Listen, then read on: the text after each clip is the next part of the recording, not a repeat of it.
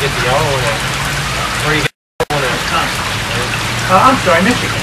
From a guy named William Street. Well, I bought stuff from him too. He, uh, he sells a lot of, uh, car parts. I bought about four or five things from this guy. You know, he's on his, on the webpage again. Is it good, it operation? 16 inches, not 20.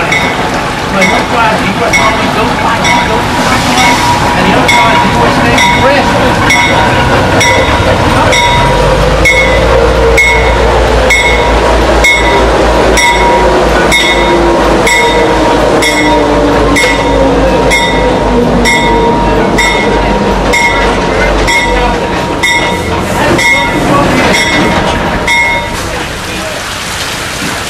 not a big deal. I can drive it up to you too, you know.